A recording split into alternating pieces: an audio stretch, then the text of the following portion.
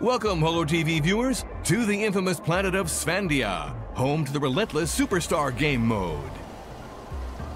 In just a few minutes, we'll be watching the semi-final matchup between Kane Corporation and the defenders of Kantur. But before we start, let's review how the game is played.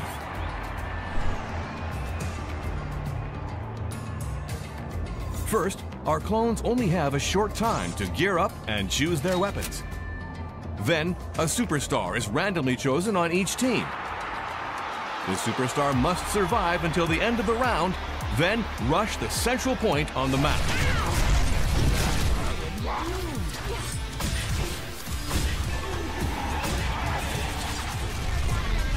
Of course, surviving is easier said than done. Oh, disintegrated. Each round is worth one point.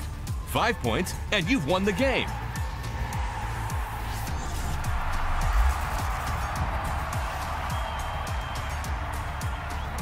Don't forget to join us nightly on Synarchy TV this week for the Svandian World Championships. Until next time, folks.